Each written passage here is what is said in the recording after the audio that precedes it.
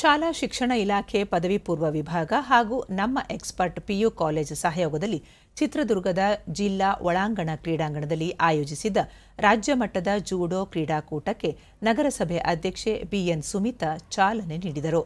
ಈ ಸಂದರ್ಭದಲ್ಲಿ ಪದವಿ ಪೂರ್ವ ಶಿಕ್ಷಣ ಇಲಾಖೆ ಉಪನಿರ್ದೇಶಕ ಆರ್ ಪುಟ್ಟಸ್ವಾಮಿ, ಪ್ರಾಚಾರ್ಯರ ಸಂಘ, ಉಪನ್ಯಾಸಕರ ಸಂಘದ ಅಧ್ಯಕ್ಷರು, ಪದಾಧಿಕಾರಿಗಳು ಮತ್ತಿತರರು ಉಪಸ್ಥಿತರಿದ್ದರು. ರಾಜ್ಯದ ಬಹುತೇಕ ಎಲ್ಲ ಜಿಲ್ಲೆಗಳಿಂದ ಕ್ರೀಡಾಪಟುಗಳು ಭಾಗವಹಿಸಿದ್ದು, ಬಾಲಕರ ವಿಭಾಗದಲ್ಲಿ ನಲವತ್ತು ಕೆಜಿಯಿಂದ ತೊಂಬತ್ತು ಕೆಜಿವರೆಗೆ ಮೂವತ್ತೊಂಬತ್ತು ಕ್ರೀಡಾಪಟುಗಳು ಹಾಗೂ ಬಾಲಕಿಯರು ವಿಭಾಗದಲ್ಲಿ ಮೂವತ್ತಾರು ಕೆಜಿಯಿಂದ ಎಪ್ಪತ್ತು ಪ್ಲಸ್ವರೆಗೆ ನೂರ ಒಂದು ಕ್ರೀಡಾಪಟುಗಳು ಸೇರಿ ಒಟ್ಟು ನೂರ ನಲವತ್ತು ಕ್ರೀಡಾಪಟುಗಳು ಪಾಲ್ಗೊಂಡಿದ್ದರು.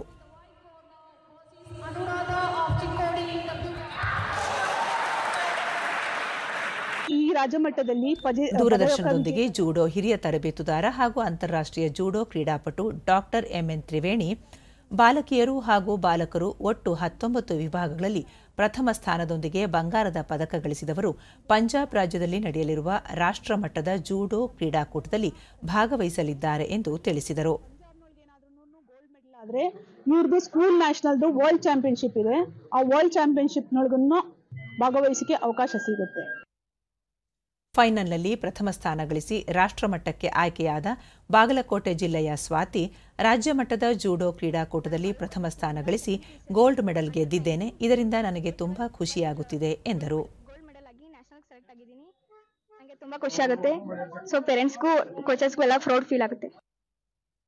ಚಿಕ್ಕೋಡಿ ಜಿಲ್ಲೆಯ ಅನುರಾಧ ತರಬೇತುದಾರರ ಮಾರ್ಗದರ್ಶನದಲ್ಲಿ ರಾಜ್ಯ ಮಟ್ಟದ ಜೂಡೋ ಆಟದಲ್ಲಿ ಬಂಗಾರದ ಪದಕ ಬಂದಿರುವುದು ಬಹಳ ಸಂತೋಷವಾಗುತ್ತಿದೆ ಎಂದು ತಿಳಿಸಿದರು.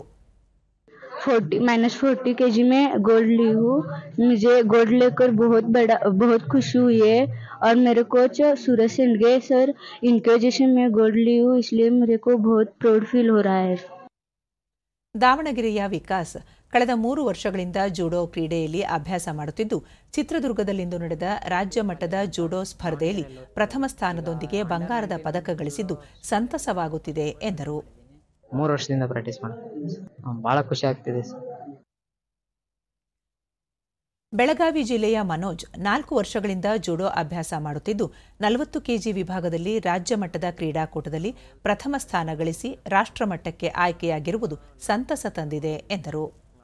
ಕ್ಯಾಟಗರಿ ಆಡ್ತಿದ್ದೆ ಫಸ್ಟ್ ಗೋಲ್ಡ್ ಮಾಡಿದ್ದೇನೆ. ಪ್ರಿ ಯೂನಿವರ್ಸಿಟಿ ಕಾಲೇಜುಗಳಿಗೆ ಎಕ್ಸ್ಪರ್ಟ್ ಪಿಯು ಕಾಲೇಜಿನ ಪ್ರಾಂಶುಪಾಲ ಅರುಣ್ ಕುಮಾರ್.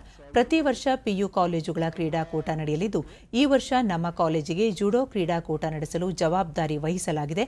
ವ್ಯವಸ್ಥಿತವಾಗಿ ನಡೆಸಲು ಎಲ್ಲ ರೀತಿ ಕ್ರಮ ವಹಿಸಿರುವುದಾಗಿ ತಿಳಿಸಿದರು. ಆಕ್ಸೆಪ್ಟ್ ಮಾಡಿದ್ದಾರೆ. ಸೊ ಎಲ್ಲ ಏನು ಬೇಕಾದೆಲ್ಲ, ಈ ಗೇಮ್ಗೆ ಏನ್ ಬೇಕಾದೆಲ್ಲ ಅವರು ಮಾಡಿಕೊಡ್ತಾ ಇದ್ದಾರೆ. ಸೊ ನಾವು ಡಿ- ಇಲಾಖೆಗೆ ಮತ್ತೆ ನಮ್ಮ ಕಾಲೇಜಿಂದ ಸಹಕಾರ ಇಬ್ಬರು ಜೊತೆಗೆ ಸೇರಿ ಈ ಕಾರ್ಯಕ್ರಮನ ಸೊ ಯಶಸ್ವಿ ಆಗಬೇಕಂತ ನಾವು ಮಾಡ್ತಾ ಇದೀವಿ